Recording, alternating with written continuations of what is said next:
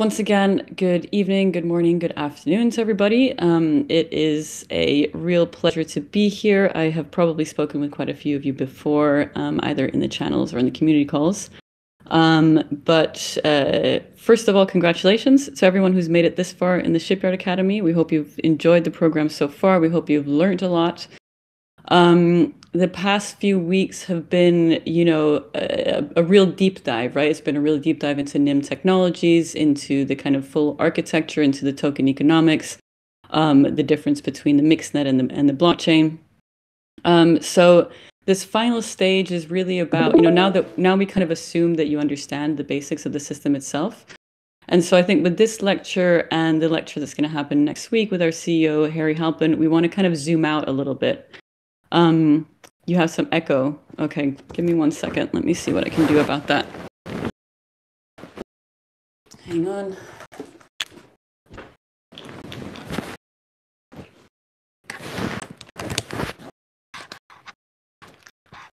Right, how's this? Is this better?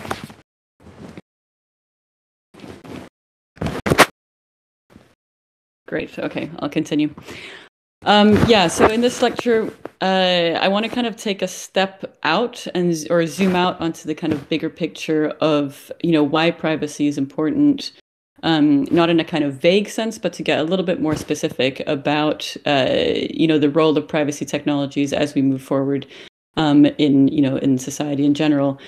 Um, and this partially builds also on my profile. So, as many of you might not know, I don't come originally from a tech background. My background is always been kind of more or less around tech, but um, it's been focused more on questions of power and questions of society, social dynamics, power dynamics within society. Um, you know how how society kind of evolves and develops. Um, and because you know technology really is at the core and at the center of power dynamics in contemporary society, that has become you know increasingly my main focus until you know I'm I recently joined uh, Nym. Nym is not the first technology company I'm working with, but it's definitely kind of uh, the first where I have both feet in the actual company, so to speak.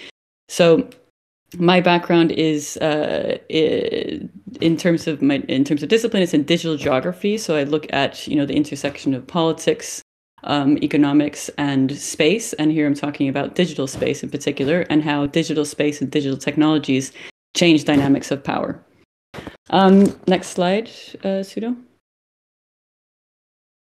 So yeah, so this is me. This is the introduction. Um, what I wanted to do in this talk is to first talk a little bit about what is specific about mass surveillance. So what is the kind of what is new about the type of surveillance paradigm that we that we live in um, in contemporary society, and to understand how privacy is an actual intervention into uh, new dynamics of surveillance, and how privacy can is not just a kind of defense um, from mass surveillance, but in fact can reshape the future direction of innovation going forward. Um, and then I would like to end off with kind of uh, you know some curveballs that look at you know how the privacy debate is going to change over the next few years, um, in my mind. And I would love to hear people's comments about that as well. Uh, next slide, Sudo. So first, I am going to um, focus on. First, I'm going to say a few things that are, uh, you know, perhaps fairly obvious to this audience, um, but just to re-emphasize just how important, you know, data and the data market is um, in the global economy right now. You know, we're looking at, you know, this, this was a kind of estimate from Statista that was looking at numbers from um, from uh, uh, 2018, where you know they measured it to be worth 169 billion US dollars, um, and expected it to grow to 274 billion US dollars. And so, you know, this is really just to emphasize just how important data is in in the current economy. Um, next slide, Sudo. And of course, the question is, you know, how much of that data is actual surveillance, right? How much of that data is um, harvested and extracted uh, without people's consent, involuntarily, and through automated processes. Next slide, Sudo. Um, so this kind of this new paradigm, you know, which is a kind of paradigm of, you know, it's been called many different things. It's been called, you know, uh, the era of big data. It's and most famously, it's been called surveillance capitalism. to really capture the way that surveillance is, you know, not just something that is done by, you know, a few spy agencies here and there, but it's really been integrated into the core of of uh, our economy today. And so, when Shoshana Zuboff wrote this book uh, titled "Surveillance Capitalism," it was in 2019, and I think this was right around the time, you know, just a few early years earlier some of the biggest companies in the world, you know, the com- largest companies in terms of market capitalization were technology companies, and most of those, or a lot of those, were driven by, you know, ad tech and and uh, uh, data extractive um, economics, and that includes, of course, Google. This was when the kind of the the the name GAFA came about. So you had, you know, to to talk about uh, Google, Apple, Facebook, and Amazon. Oftentimes, Alibaba and Microsoft was added to that too. But these were really like the you know gigantic companies um, that we're now so used to. Uh, so when Shoshana wrote this book, this was really to emphasize that the nature of surveillance has changed. Right, it's become a kind of integral part of the economic dynamics in society.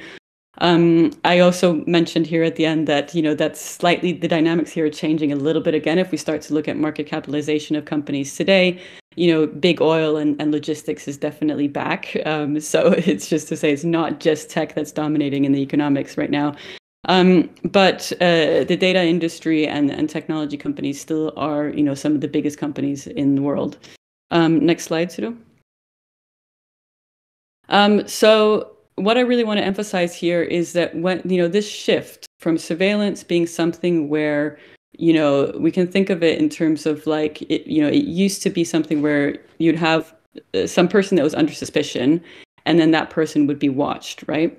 Um, what's happening now is that instead of a single a person or you know being in, being under under suspicion and therefore being watched you have you have almost the inverse happening. You have everybody being watched in order to surface who is starting to look suspicious right?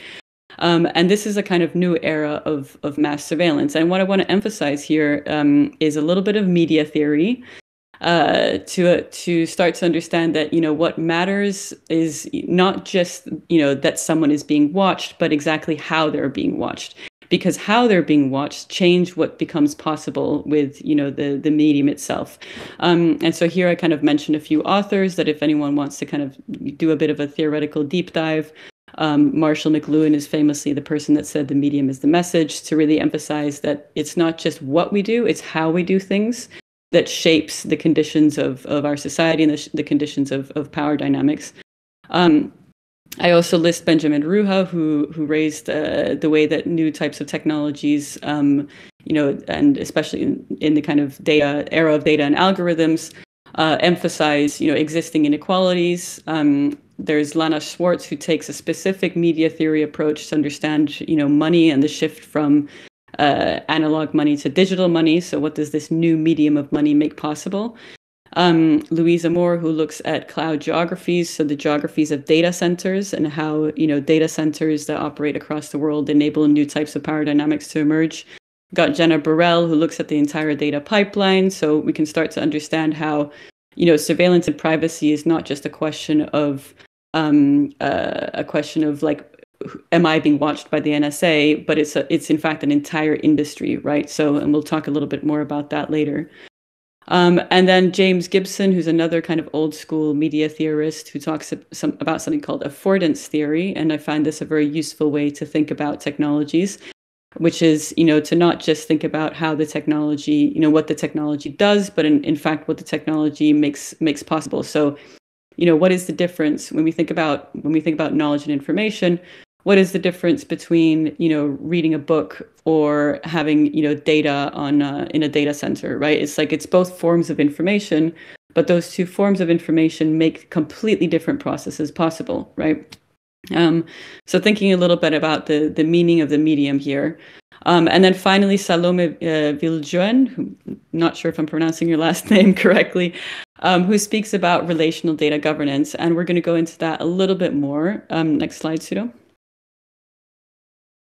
so um, uh, Salome's uh, concept of relational data governance is very important to understand what is the difference between surveillance and mass surveillance. So, and the, the primary difference is that mass surveillance is fundamentally collective and it's fundamentally relational. So, the reason why it's interesting, the reason the reason why data and big data is valuable is because of the relationships that it it surfaces, the relationships that it makes visible. So, it's not just about what one single person is up to. It is about you know a kind of you know generic. It's about pro- creating new profiles of new groups of people it's about understanding new social dynamics. It's about understanding changing norms. Um, and that kind of analysis is a collective analysis. Um, and to come back to the core of it and, and to come back to the beginning of mass surveillance, which was in fact, you know, as Shoshana points out, a collaboration between the surveillance apparatus of the United States, or sorry, between the, the security agencies in the United States and big tech industry. You know, this was a kind of marriage between the NSA and Google, let's say, um, General Keith Alexander from the NSA said, "You need the haystack to find the needle." The needle, right? So, what does he mean by this? He means that in order to understand who is suspicious in the first place, you have to understand what the norm is. Um, and in order to understand what the norm is, you need a statistical mass, right? So you need a lot of data points so that you can do the analysis to understand what are the types of, you know, what are the types of dynamics that we're, we're seeing here um, what behaviors can we group into new types of profiles? What can we learn about those profiles? How do they relate to other types of profiles? Um, can we make predictions about them by calculating uh, about their behavior at a statistical level, so at an aggregate level, right? So this is really the difference between surveillance, where you're focusing on on on you know the suspicious behavior of one individual, and mass surveillance, where you're talking about an entire population. Um, next slide, Pseudo. Um, so to get to Salome's uh, relational theory of data governance, um, you know, this this really goes into depth about, you know, what does that what what's the importance here? What does that mean for power dynamics, right? When we're talking about the difference between surveillance and mass surveillance. So typically speaking, um, people tend to think about surveillance like this: that there is a data processor, you know, there's someone who kind of is gathering a bunch of data about you, um, and there's a data subject, that's you, right? And then the whole question that people tend to kind of try and work out is like, have you consented to your data being used by this data processor, right? So it's very much about the individual and it's very much about individual consent and individual choice um, to say whether or not they want to have data about them produced and um, what that data should be used for and who that data should be shared with, right? So this is how we tend to typically think about um, uh, privacy and surveillance. Uh, Pseudo? Um, thanks.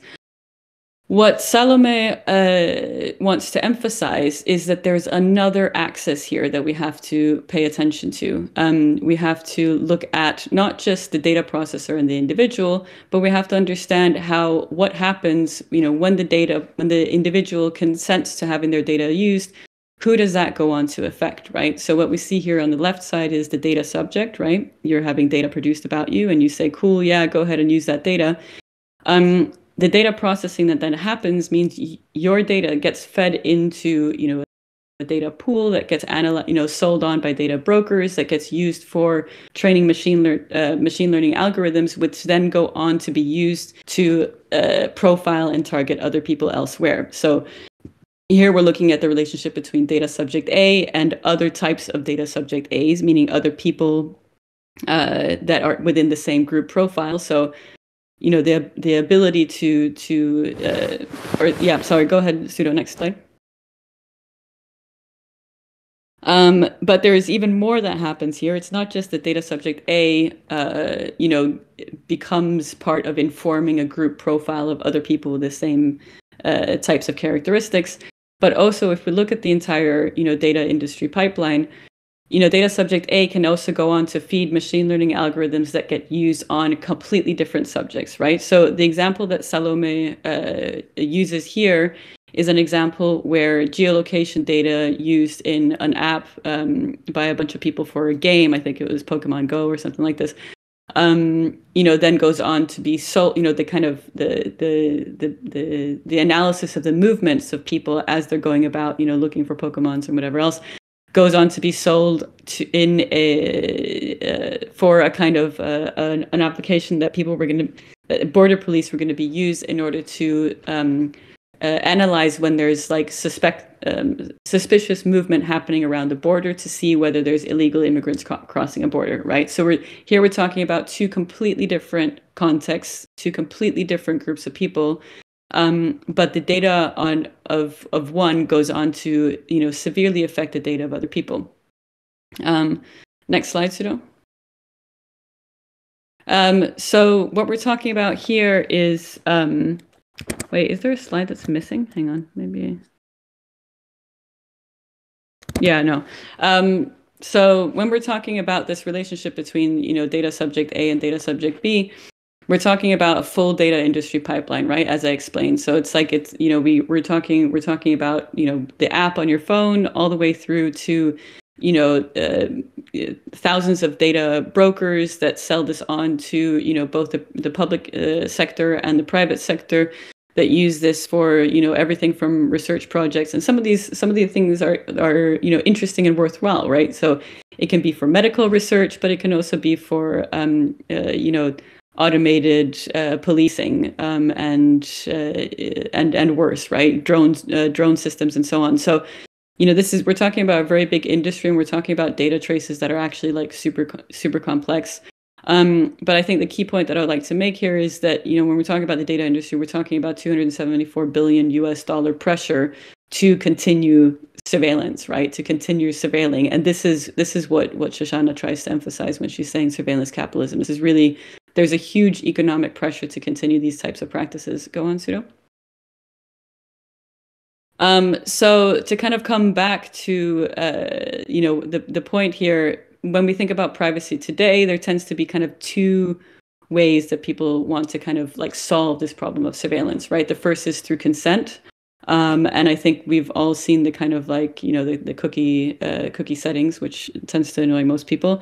Um, and here the the idea is that you know you you as an individual have you know you can get you get to decide whether to share your data or not. And okay, cookie settings are are super horrible, but we're seeing other projects that want to try and make that even better. But the point when I think that Salome is making when we're looking at the the kind of collective question of surveillance is that it actually doesn't matter if the individual opts in or out um, because you're just a tiny data point, right? Um, in you know thousands of other data points. So if you have like a thousand other people that are willingly handing their data over, then you choosing not to makes a makes very little difference to the industry as a whole, and makes very little difference to the consequences of the industry as a whole.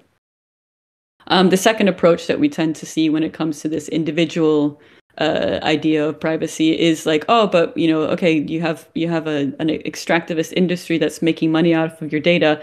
We should allow individuals to make money off of their own data. But again, the point that Salome is making here is that the value of data is not individual. The value of data is exactly in the collective nature, in its ability to tell us things about the the aggregate level about entire populations about groups of people. It, it allows us to create new profiles and understand new behaviors. Um, and you know even if you could get uh, some money off of your data you know people have done some calculations and it's it's uh, less than pennies. Yeah i mean it's data worth you know your individual uh, personal data is worth um, less than than a, a dollar cent. Uh, next slide Sudo. Um, this is just an example of uh, you know this this idea of personal consent and personal control. Um, I tried to do the experiment of uh, copying over every single. Uh, this is like less than a day's worth of cookie settings. so I think, in fact, this might just be from one website alone. Um, you know you could literally go in and uh, and you'd have to kind of set you know read each and every company and kind of change the settings for each and every company. Um, which you know as a researcher is super fascinating. I think you know in that sense the the gdpr from the european union has been successful. We can actually see how crazy this industry is now. But in terms of empowering us to make decisions about our data as we go about our digital lives it's uh, it's underwhelming to say the least. In fact, it is um, it's it's a horrible experience and it makes zero sense whatsoever. Um, but yeah, you're you're you're welcome to go in and just check all these companies because when you start to understand just how big the data broker industry is, you can start to get a sense of you know how much interest there is at stake in continuing the surveillance practices that uh, currently exist online. Um, next slide, Sue. Um, so just to sum- summarize this section, uh, the point that Salome is making here, which I think is a very valid point, is that data is relational. It operate, you know, when we're talking about mass surveillance, we're talking about population level um, surveillance. And so when we say things like privacy by default, we don't just mean this as a slogan, but we mean this really as a kind of collective blockade on the surveillance paradigm, right? Um, and you know, which means that you know when you have privacy as the default, you have the privacy, you have you have blanket privacy as a starting point. Then you can start to have you know a society that can make meaningful choices around um, who produces data, when, and for what. Um, and I would argue that in fact, you know, privacy in that sense uh, gives rise to a kind of entirely new innovation paradigm. Next slide, Sudo. Um, so yeah, I mean, I, I don't know, we could go into this, but this is basically just to say to let's skip this slide. I want to get to the industrial parts actually. Move on. Um, this is just a bunch of marketing slogans. um, but yeah, the, the point here is that um, privacy does give rise to a, a new type of innovation paradigm. And I think people are starting to get a sense of that. We haven't quite reached hype factor yet, but I reckon we can probably do that in the next year. I think people are going to start to really understand um, what can be done in this industry. And so, and here we've got Fred Wilson from Union Square Ventures uh, talking about how you know uh, the importance of privacy um, in reaction to you know not just you know mass surveillance that was revealed by Edward Snowden back then, but um, also new new conditions like COVID nineteen and so on. People are starting to kind of feel um, the consequences of surveillance uh, a lot more um, viscerally, right? We can feel it on our bodies. We can feel it. You know, we have Chelsea in, in our team who talks a lot about the mental health uh, consequences of of surveillance. Um, because I think the important thing to understand with, with surveillance is that it is behind the the kind of ad tech industry as well. And so this is literally a, a competition for for your attention, a competition for your mind space, a competition for your brain, right? Um, so it's uh, you know we can see here Fred Wilson um, jumping on on board with the idea that privacy is uh, is it's the next paradigm essentially. Next slide, Sudo. Um, so let's go into just a little bit how it is potentially the the next paradigm, right? So this kind of visual that we've got here is, is like one of those kind of classic woo woo visuals around artificial intelligence, right? It's like is the brain a computer and so on, which um, personally is uh, I think is totally bullshit. But there is, you know, there is a, a growing artificial intelligence industry that is you know at the other end of the pipeline right? So if we're if we're talking when we're talking about surveillance and privacy we're talking about you know who gets to kind of produce data and gather data about people. Well that data goes on to inform um, machine learning algorithms elsewhere that go on to affect uh, uh, other people elsewhere as we were discussing with salome's relational data governance paradigm um, so what happens when you kind of intervene, right? What happens when you intervene and, and establish privacy as the default, default privacy as the kind of baseline of everybody's devices and applications?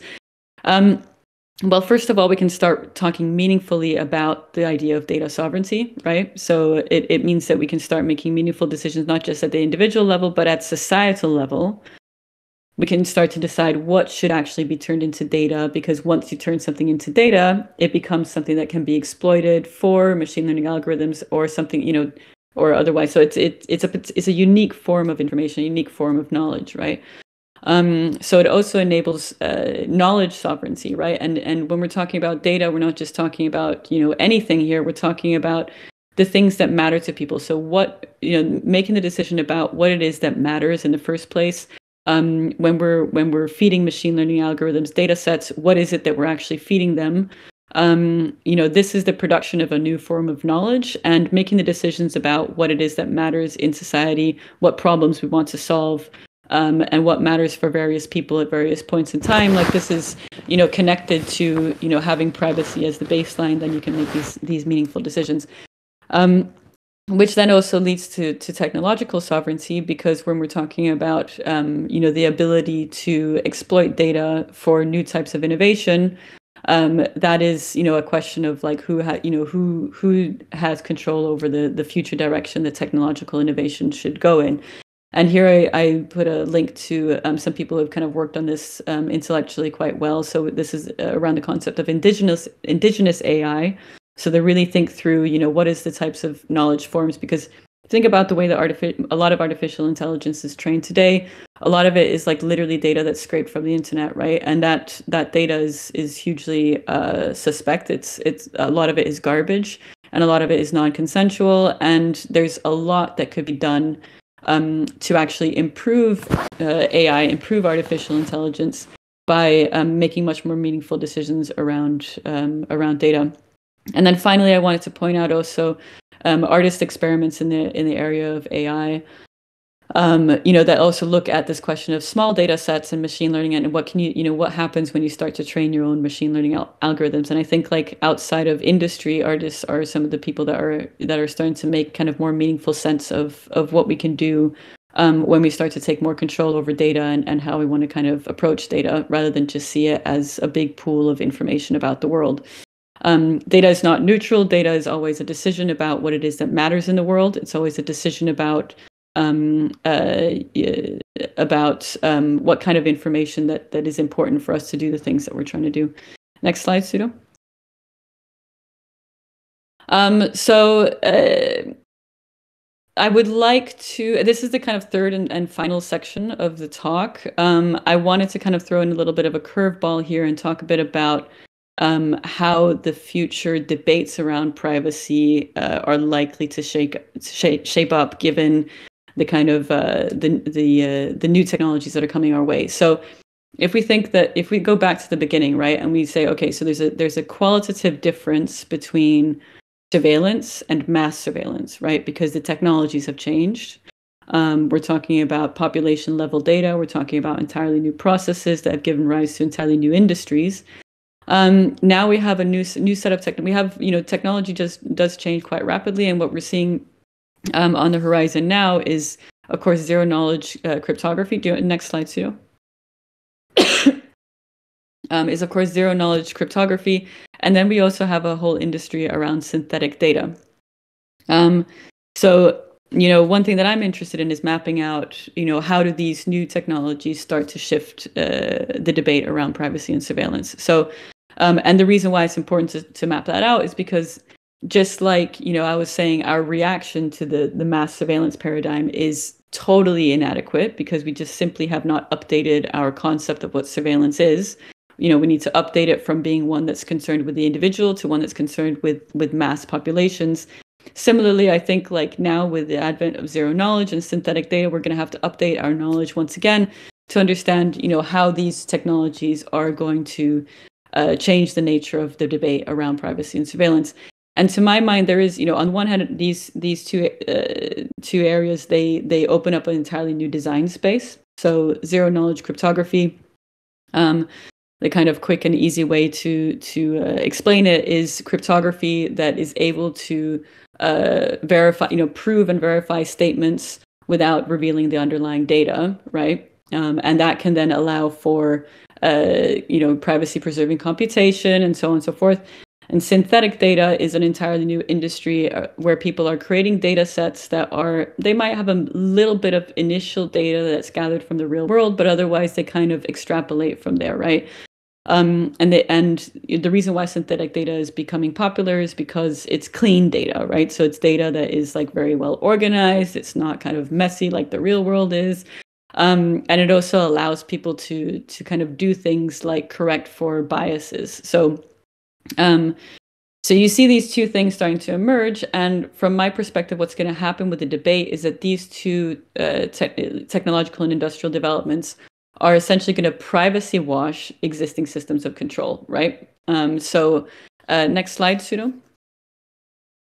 So what I mean by that is, um, you know, we look here at the kind of uh, the vertical axis. We've got the kind of data producer, so you know the NSA or the evil company or whatever else, and then we've got the data subject that that is supposed to, you know, be where the the, the idea of choice is, right? The, the difference between pri- between surveillance and and just uh, uh, let's say data gathering is whether the subject has given their consent um, well, when it comes to zero knowledge and synthetic data, it's kind of almost as if, well, it solves the problem of, of privacy, right? So it's like zero knowledge cryptography, then it's like, well, nothing is revealed, so we can't talk about surveillance anymore. Um, we've solved the problem of privacy. Or with synthetic data, we're no longer talking about data about a specific individual. It is kind of it's synthetic, and so therefore we're no longer talking about surveillance, right? There's this idea of like getting rid of um, the the data subject A, um, which means that the data processor, you know, the, the the broker and so on, they can kind of deal with data in the same way as they used to. They can build the same systems as they were before. Everything remains the same, but we know we're no longer talking about surveillance. So from my perspective, next next slide, Pseudo. So the the way that we need to kind of evolve the conversation around um, privacy and surveillance, and the reason why I think Salome Viljoen's uh, relational theory is so important for us to understand what's really going on here, is that you know we need to be able to articulate why and uh, why existing data practices um, around control despite supposedly solving this problem of um, a privacy invasion of the individual, nevertheless uh, can have negative consequences, right? Because we we see the exact same systems of control that were um, initially uh, enabled through surveillance continue to be enabled, even though the kind of the question of surveillance at the individual level has been has been resolved. Um, so I think we have a lot of work to do around the kind of narrative. We have a lot of work to do around, you know, what is what is the kind of the basis of the conversation here, um, to move it to a much more kind of uh, broader conversation about the the the question of of mass surveillance, the question of the collective nature of privacy and surveillance. Um, next slide, Pseudo. Um, so that is to come back to you know our main slogan in Nym, privacy loves company.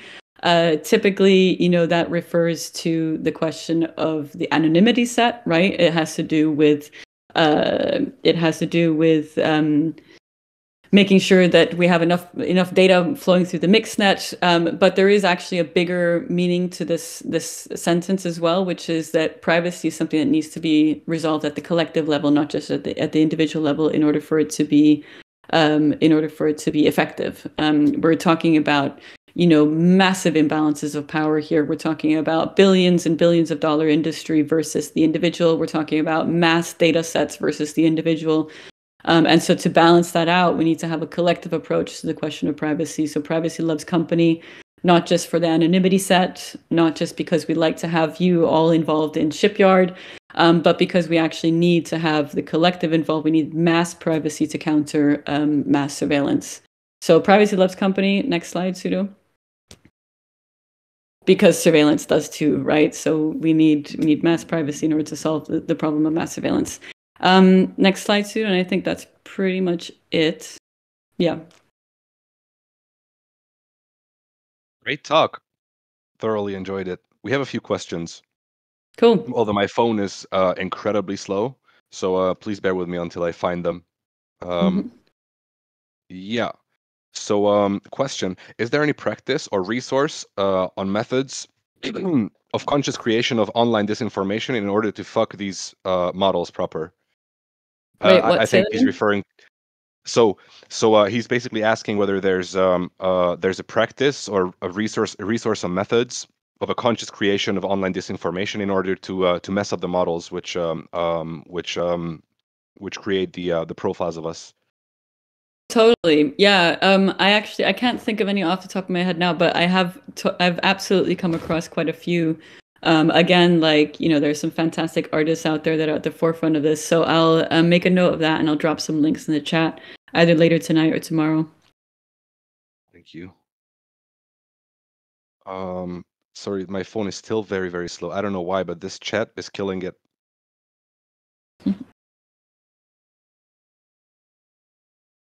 Oh yeah, it's from Nick. It seems that it seems that to stop mass surveillance, we need a new monetization model instead of ads based uh, or targeted ads. But what would the alternatives be? Yeah, so that is such a good point, and it's in fact one of the reasons why I work for Nym, um, hundred percent, because I am interested in the question of changing the business model, right? Because the business model is so much at the core of things. Um, and so, you know, right now the kind of experiment that we're doing at Nym is obviously to, you know, to to to have a token uh, token economics and a token economics that incentivizes privacy rather than surveillance. Um, that is, you know, uh, let's say a solution at the individual company level, and I think it's it's something that's very much on the minds of a lot of privacy projects across the Web three space.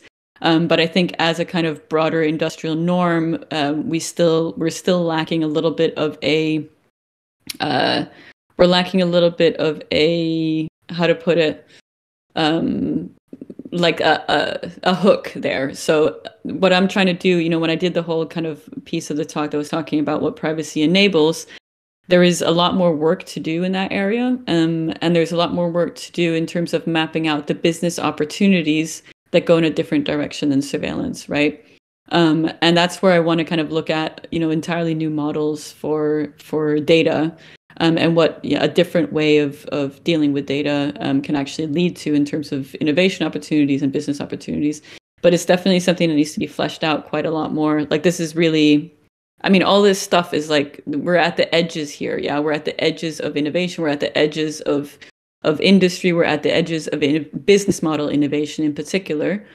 Um, so if there's anyone in the audience that is like into that stuff and want wants to work more on it, um, you know, feel free to get in touch with me. Absolutely.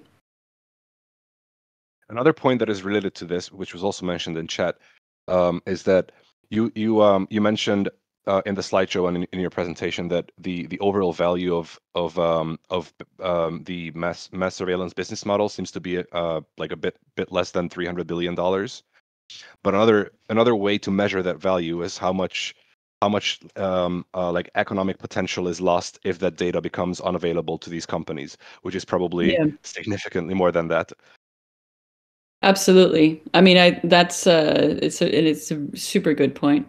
I mean, we can we can go even further than that and say, you know, and look at you know what is the loss to society if that data becomes in um, unavailable. And you know, here we're talking literally about like the the concentration of of knowledge and knowledge as power in you know pretty much one company in the world right now. It's google right? So these things are it's pretty it's pretty major questions. It's pretty serious. And then uh, there's a pretty pretty um uh, like com- uh, complex and complicated question but um i can't paraphrase it so i'll just read the whole thing so yeah uh, how could how could we define a non-dualist cultural baseline with fresh narratives of, narratives of uh, of privacy, which could unify solar and lunar punks? Where do you see the biggest frictions in the emerg- in the emergent reality of crypto politics? Such a nice question. So you know, in you know, Nym is very obviously lunar punk, right? But I actually see the I see lunar punk and Nym as enabling not just like a solar punk reality but like like lots of punks is the way is the, the, way that I put it. And it's something that we're, i think like um we actually need to if anyone wants to do like a working group on like kind of fleshing out like some new narratives in this space because i think there's a lot of work to be done here. The lunar punk crews are fantastic you know the people that have developed that narrative are fantastic um, I think we can go so deep into in that analogy because you know, and the analogy is a little bit like if we think about lunar punk and solar punk, we can we we can start we can talk about night and day, right? And we can talk about the dynamics of night and day, which is not a, a competitive dynamic, but a um uh, uh like there's a sit there's a what's it what's it called there's a balance right so yeah, they're complementary, complementary right? exactly because um if anyone here has tried to like not sleep for a few days, then you realize what the what the problem is, right? It's like you actually you need the night in order for the day to to to happen. You need to sleep in order to be more awake. Um, and it's similarly with privacy and transparency. So um, in order to have transparency, in order to do meaningful things in under the public eye in the world, you absolutely have to have uh, private time. You absolutely have to have rest. You have to have that space, which I perceive very much as a space where um, it's the kind of a soup of existence where things can actually start to emerge, um, not under force, but but through rest, right? And and that's kind of so the way that I that I kind of uh, intuitively perceive, you know, um, this idea of privacy as the default and having, you know, privacy as as the, the foundation of our, our digital communications is literally to put a blanket on a lot of noise, right? Because the noise right now is literally that you know huge industry that is competing for our attention at all times um, and and it's and they're very good at kind of uh, cloaking that as if it looks like valuable information or important social dynamics or whatever else but really it's competing it's it's it's competition for your mind space Um, so I see the kind of, you know, I see solar punk and lunar punk as absolutely as complementary. Um, but I also, you know, there is a, especially when it comes to kind of zero knowledge proofs. I mean, I can, I wrote a whole essay about this actually. I'll send it over to you guys. Um, when it comes to like zero knowledge, like this next step in in uh, the debates around privacy, um, you know, we're looking at zero knowledge proofs and synthetic data, and so it's it's uh it's not just night and day anymore. Um, there's kind of like rainbows that cut across like both in a way. Um, and so I think like in terms of narrative work, there is there is work to be done. And Nym is Nym is lunar punk, but it's lunar punk in order to enable solar punk, and it's it's a it's um trying to open up some some new spaces. So yeah, I would love to kind of do a deep dive on on kind of uh, working on some of these questions with you guys the narrative work group is uh, probably happening according to chat. So um, so let's keep an eye on that one. Nice. I'm super interested uh, interested to see uh, what you guys come up with. Mm-hmm. And there's another question um, on a global level. How are countries being targeted by uh, the issue of mass surveillance? I'm assuming smaller economies can be threatened easily. Uh, they can be threatened. Well, there's okay. So here we need to kind of mm, uh, yeah i mean smaller countries are threatened more easily but it's it's kind of it's pretty wild out there right? And it's like we can draw examples from all over the place. And when we talk about kind of targeted surveillance i mean we had what was it that case just a couple years ago where angela merkel was under you know realized that the nsa was spying on her. So like you know it's kind of it's it's a problem that um, cuts across uh, countries and, and geopolitics but it does it in very very different ways right um, and so like if you look at the uh, um, hang on one second. Sorry, give me two seconds.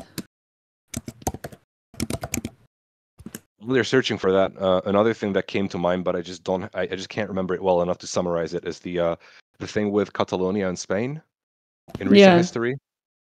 Do you remember that one? Yeah, exactly. Um, wait, hang on.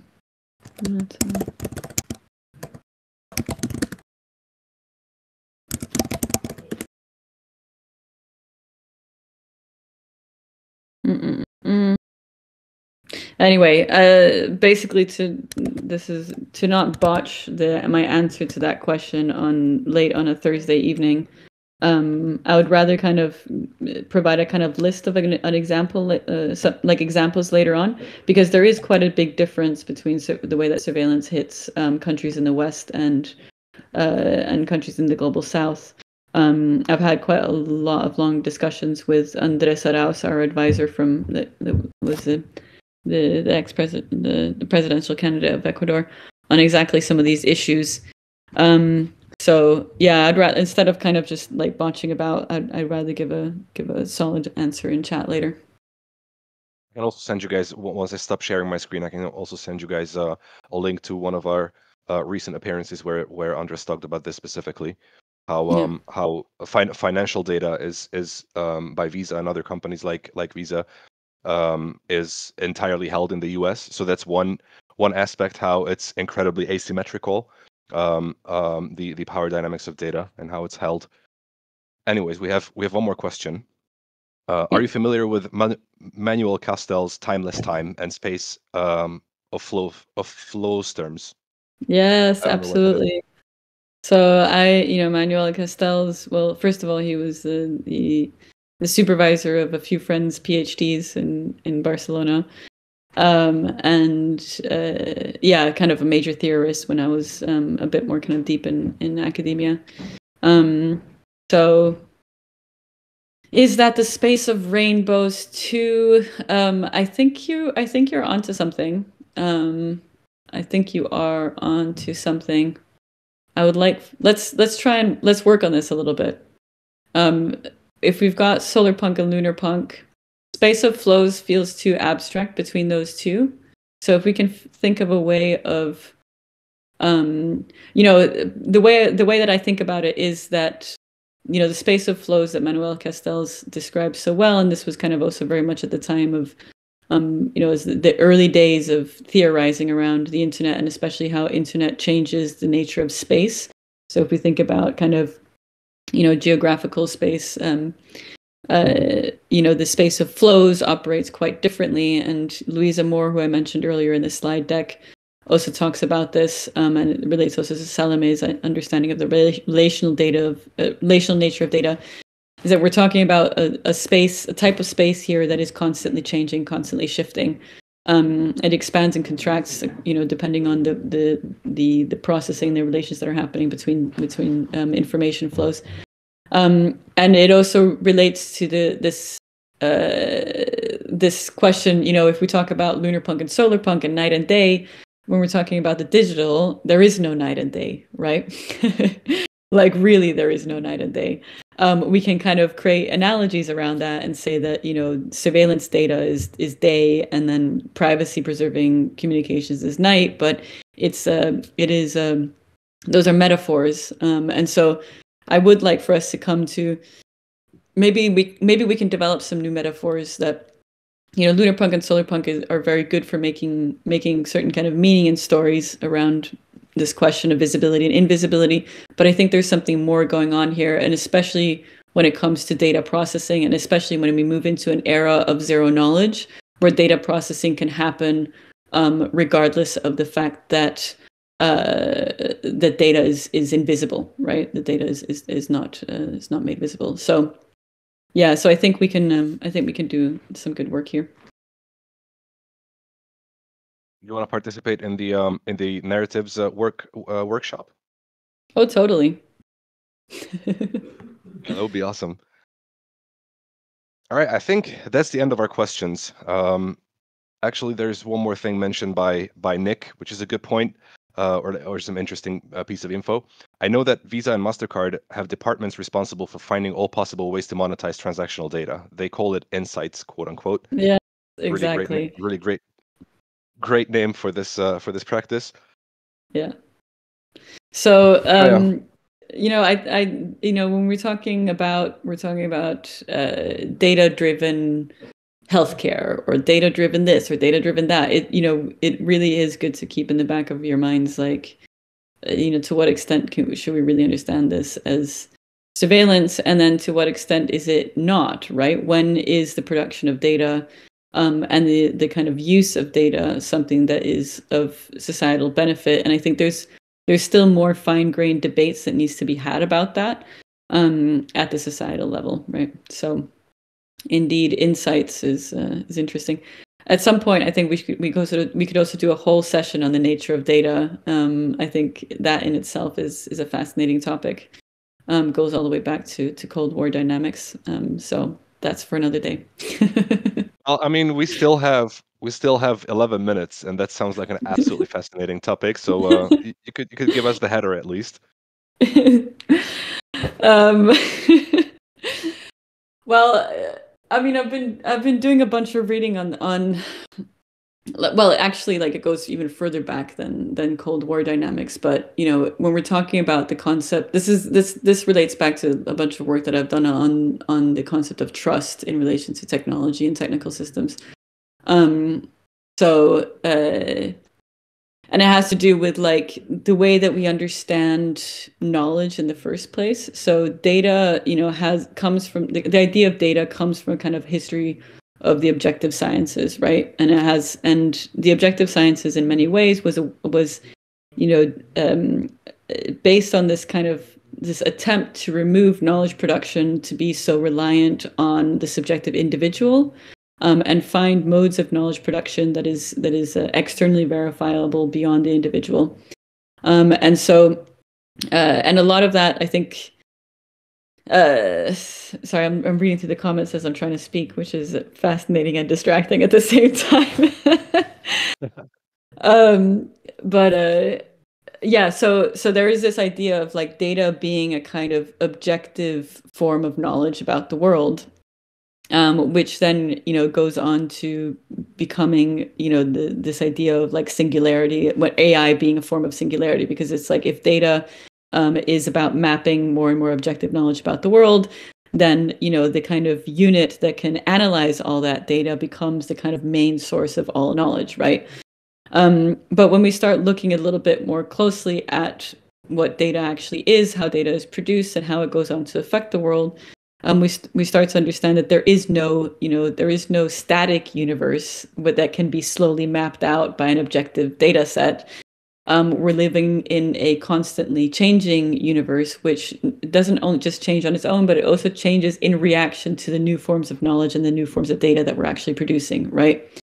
Um, so in that sense, like there is there that idea of you know the kind of scientific process being an incremental mapping of objective knowledge, which will eventually lead to a full picture of of you know the universe and how it works. Um, we're kind of past that, you know, and kind of quantum physics took us took us past that. Um, and so uh, so to kind of then fast forward to the kind of Cold War, um, the Cold War was like the the beginning of algorithms, and again, it was this idea and this attempt to try and create forms of knowledge processing, and not just knowledge processing, but acting on knowledge that would be removed from the subjective human, because the the danger here or the fear here was that the subjective human might just press that button, right? So how can we prevent um, uh, you know, human kind of um, fear, you know, ang- the anxiety around the kind of human subjective uh, whims and and desires and whatever else to suddenly kind of put the whole world at risk by blowing off a nuclear uh, bomb. Um, well, let's create decision-making processes that are external to the human, that are algorithmic, um, and that can be somehow encoded. And so then you got this kind of match of, you know, this this this marriage, let's say, of uh, data and algorithms that then kind of fast forward to today look the way that they do um, but you know, both are kind of really founded on a misunderstanding of the the relationship between the objective world and and the subjective um, experience and the subjective form of knowledge production. And so there is that schism in in the idea of Western science that has led to this idea of uh, mistrustful humans versus you know trust trustless or you know trustless systems that we can trust more than the human um, you know, and we can see how that kind of is very much present in in the blockchain industry and, and the kind of crypto industry. Um, but at the end of the day, there is always, you know, we always come back to the subjective human that is that is part of this process.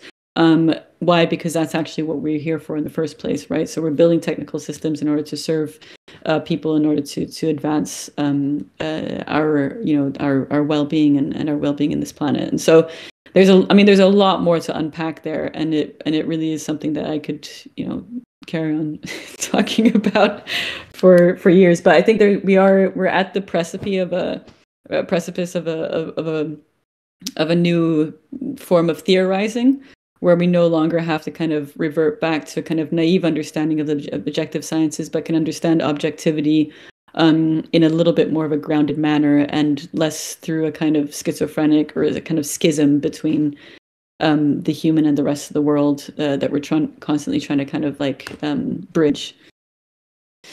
Um, yeah, so that's that's my spiel about how uh, data, uh, the idea of data and, and algorithms goes back to the po- to the to the Cold War and, and even before then. Um, and we can see those those. Yeah, go ahead we're definitely doing that talk then. Uh, you're on the hook for that now. um, I'm prom- I'm promising it in front of everyone so that so that you can get out of it. when? W E N. W E N. A little bit. I think like later in the spring, probably. Um, how can something objective exist if it is created by a subject? Exactly, right? So every time we create, every time we produce, um, but it, you know, it goes even deeper than that. So because you know it is it it also goes to the core of the question of um, is the subjective located only in the individual human right um, because there is something interesting about the idea of harnessing mathematics and harnessing um, infrastructure in order to create new modes of enactment but of course there is always a human at the end of the day that codes you know that that coded the thing in the first place and that's what the blockchain industry had to learn very quickly right? So this idea of trustless systems you know then you had the kind of big uh, scaling conflict in bitcoin and you know where you had a money system that was supposedly outside of the control of humans but of course it's humans that are coding that very mon- that very monetary system. Um, the same thing with uh, with a dao hack and so on and so forth. And so you know there is a there is a human in the loop all along, but I think even the concept, this idea of the human in the loop, is something that that alludes to the possibility for there to not be a human in the loop, which is a little bit weird when it comes to the production, the creation of of um, technology, and also when it comes to the question of what are we doing here in the first place? Um, what are we trying to build, and who are we building for in the first place?